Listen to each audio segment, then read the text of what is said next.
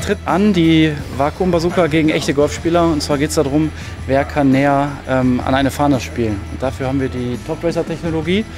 Die erste Top Racer-Range in Deutschland, die es gibt. Kommt aus den USA, da ist das schon lange Usus. Und hier haben wir eben die Möglichkeit, durch zwei Kameras am Range-Dachgebäude jeden einzelnen Ball genau zu verfolgen.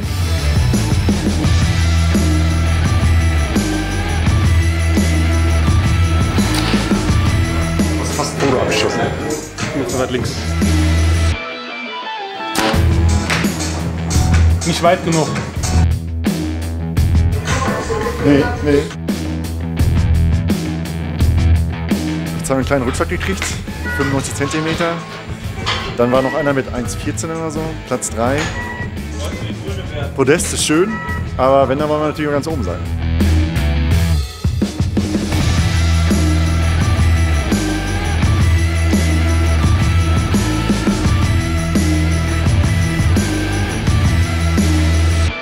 Können zufrieden sein. Es ist das erste Mal, dass wir die Bazooka außerhalb des Labors getestet haben. Ja, das Beste, was wir heute erzielt haben, waren äh, 160 Meter. Wir mussten ein bisschen äh, die Druckdifferenz reduzieren. Also wir haben es nicht ganz weit runtergepumpt, damit wir auf die geforderten 133 Meter ungefähr gekommen sind.